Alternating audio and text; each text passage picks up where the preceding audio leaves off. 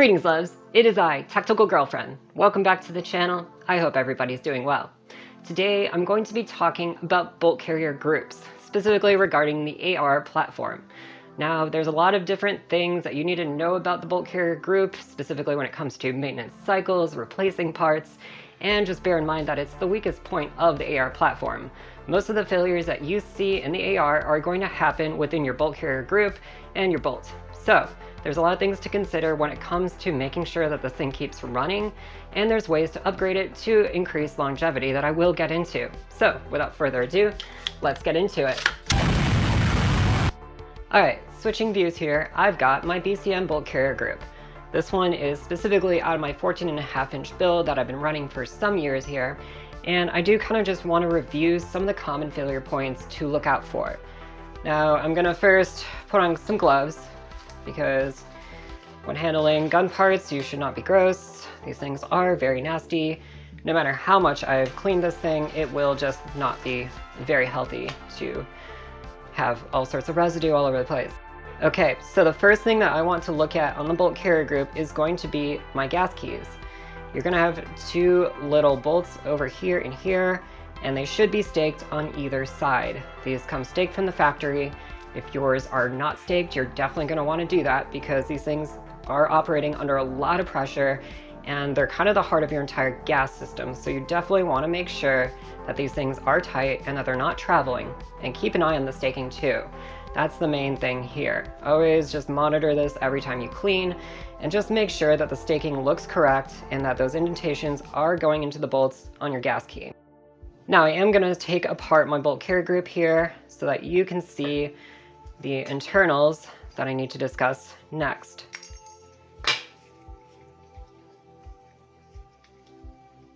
Take my cam pin out and then the bolts. So the next thing that you're gonna wanna worry about is gonna be your gas rings right here. There's gonna be three of them. Um, these are important because when they wear down, you're gonna have a leaky system and it's not gonna work quite right. You will run into cycling issues if you let these rings wear down. Now, there's a couple of methods to determining whether or not you need to replace the gas rings on your bolt. The first thing you do is take your bolt carrier group, put your bolt in the extended position, and just stand it on the bolt face. If it collapses on its own weight, that means that you probably should at the very least consider replacing those gas rings soon. This is not a be-all determination, it just means that you're getting close at the very least. Now, a way to determine if you need to for sure replace those gas rings in your bolt is to simply get your bolt into the retracted position in your bolt carrier group and then hold it upside down and just give it a good shake. If your bolt stays retained in the retracted position, which it is, that means that you're good for now. You don't need to panic. You don't need to replace those just yet, but those gas rings do need to get maintained sooner or later if your bolt actually just falls right out into the extended position, then you know you need to actually replace them ASAP. Now, you could run into the exact opposite problem. Your O-rings might be out of spec, they might be a little too fresh, they just simply might not be fitted on properly, or they need lubrication.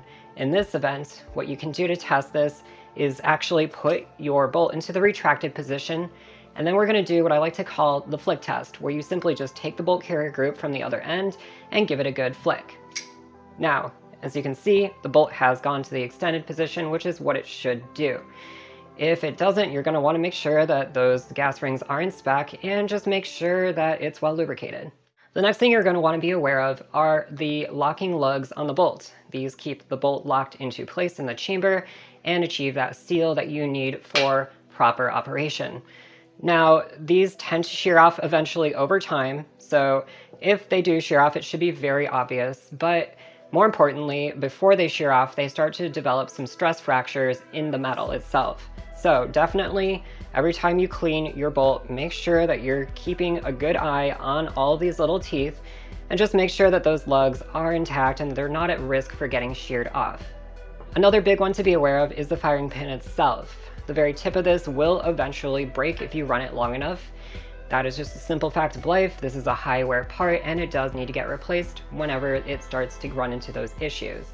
You're probably going to notice this. It should be very obvious. You'll have a bunch of failures to fire. and you can just visually inspect it and see that the tip has broken off. So just get familiar with the way that that tip should look and keep an eye on it as you use it. Another really big one is going to be your extractor spring. These do eventually wear out. You definitely need to make sure that those are intact, otherwise you will start to have some failures to eject. It will become very obvious. That is one of the first things to look at. The extractor spring will just simply eventually wear out. Now on some carbine gas link systems, you're also going to have a rubber O-ring. That also should get replaced over time. Also, just keep an eye on the actual extractor lip itself. That part there is very high wear, and that can snap off or just simply wear down to a point where it starts to fail to extract too. So having all those spare parts is really important. Also, side note, when it comes to all these parts, most of them do have a service life that is not determined by some general rule of thumb, but rather the manufacturer. So ask your manufacturer about all the parts in your bolt carrier group and how often, after how many rounds, you need to replace each part. Keep those things in mind, have a maintenance cycle, make a maintenance chart, and cycle these parts out to have some better preventative maintenance so that you don't run into problems when it matters most. Another really important part is going to be your cam pin. The cam pin is going to eventually shear off if you run these long enough. It's just going to shear itself in half and it's going to snap and break. Keep an eye on the cam pin and make sure there's, again, no stress fractures, just like the locking lugs and the bolts. Make sure that there's no signs of this eventually just snapping in two. The hole itself here, where the pin is retained, is also a weak point, so definitely keep an eye around those holes there. And generally, I recommend actually having a small indentation or marking on your cam pin where you orient the cam pin the same way in the bolt carrier group every time. I put a little dimple here so I know I want to face that forward. The reason for this is that if you constantly flip the cam pin around, you're gonna have wear coming from both sides and that actually wears the thing down much faster and that will decrease the overall service life. So it's a very avoidable thing if you just simply do a few things ahead of time to make sure that you are orienting this in the same way every time. Now let's talk about why you would want to upgrade your bolt carrier group. For one obvious one would be that you want less parts wear. Some bolt carrier groups out there simply just are made better. They're made to last longer, they're made out of stronger materials, and they just have better designs to increase longevity. Another really popular reason that people want to run more enhanced bolt carrier groups is because they're running things suppressed, myself included. Now, the BCM bolt carrier group is certainly more than adequate, but it is, you know, very mil spec. It's nothing really fancy, there's no bells and whistles. It is a very classic design. Something like the LMT Enhanced Bolt Carrier Group is actually going to be a huge improvement in a lot of different ways. I got this from an internet friend who let me borrow it. I've tried it out, been running it, and really enjoying it. There's a lot of really cool features in this bolt carrier group. It may not seem like much, it kind of, you know, looks very similar, but it's actually surprisingly different. There's a lot of really well thought out design features and materials that went into this that I'm gonna go over right now. Now, this LMT Enhanced BCG is the full auto version. Um, it's full auto compatible, not that it really matters for most of us, myself included, but that is the one that was lent to me. And it weighs about 11 ounces. It's made out of 8620 Carpenter steel, and it has a manganese phosphate finish on the bolt carrier itself.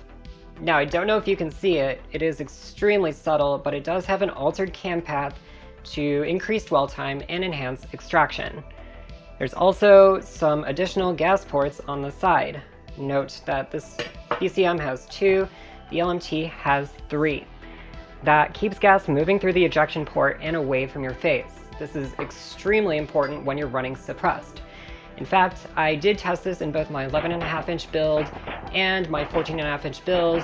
Compared to the BCM, in both of those builds, it was noticeable. Uh, there was definitely a lot less gas in my face, it made it much more pleasant to shoot, and it was especially noticeable in the 11.5 inch build. I really, really appreciated those gas ports there.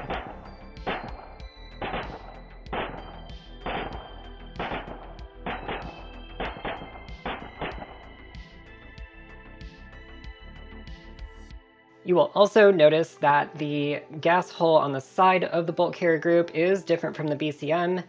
That is to also improve gas flow along the bolt's tail, further allowing the system to run more fluidly, reliably, and also drag gases in a way that is more pleasant to the shooter.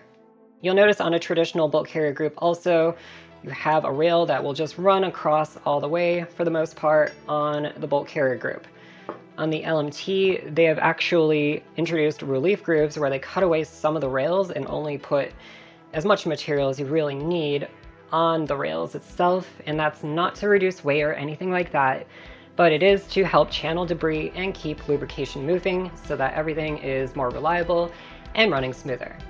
And you'll notice that the bolt itself is a completely different color. It does not have the normal phosphate finish that you would normally see on your bolt. This is for a very good reason. They actually improve the quality of steel. It's some sort of proprietary finish that they have. And this will help increase the overall lifespan and make it easier to clean as well. Now I have both of these extractors removed from their bolts. Something really important to note here. On your traditional extractor, you're gonna have one extractor spring. It's very simple. On this LMT, you're gonna notice it's got a lobster tail, which is pretty weird. And more importantly, there's no springs. They're actually going to be inside the bolt, and there's two of them, hence the shape of the lobster tail.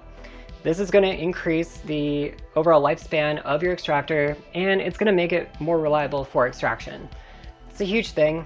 The extractor is one of the weakest points of the AR platform. You definitely want to keep spares on hand, and the LMT really has a brilliant design to help increase that service life. You will also notice that the locking lugs actually look fairly different on the LMT versus the traditional bolt. That is to increase the service life and reliability of it overall, just make it more robust and less prone to cracking. Now I want to say the LMT Enhanced Bolt Carrier Group is very impressive to me. I immediately noticed the difference when running suppressors on both of my ARs, as I mentioned.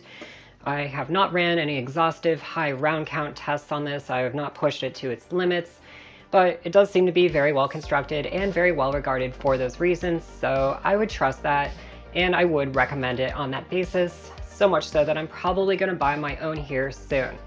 But you are simply given an option to upgrade your bolt carrier group if you want to. It's by no means necessary. You can run any bolt carrier group in anything that fits it basically. You just simply are going to have different maintenance cycles for different parts, and this one should last a bit longer, and it should suppress a bit better, which I certainly have discovered myself. There's many other options on the market, especially if you're running suppressed. An honorable mention would be the Bootleg 4-position adjustable bolt carrier group, where you have four positions to adjust the amount of gas that's being ported out of the bolt carrier group.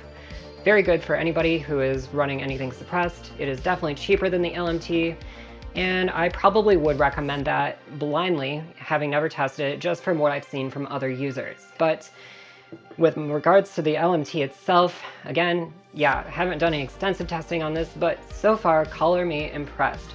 This is a really nice bolt carrier group, and I certainly want one for myself. Well, that about wraps up my presentation on bulk carrier groups. I really hope that this information was useful to you all.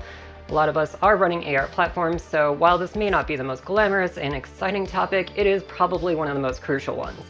So bearing that all in mind, I really hope you enjoyed this video, and if you did, please be sure to like, subscribe, and hit that notification bell too. I also want to graciously thank everybody who is supporting this channel on Patreon as always. You all are the lifeblood of this channel, and I really couldn't do it without you. I don't like relying on ads. I don't like bothering my viewers with ads. I want this channel to be a free resource for you all, but I do need to keep the lights on. So if you do want to go help out, you can always go to patreon.com slash tacticoolgf. The biggest contributors are named at the end of the video. And that's a wrap. I really appreciate you all tuning in. Please be good to each other out there. And as always, please take care. Bye!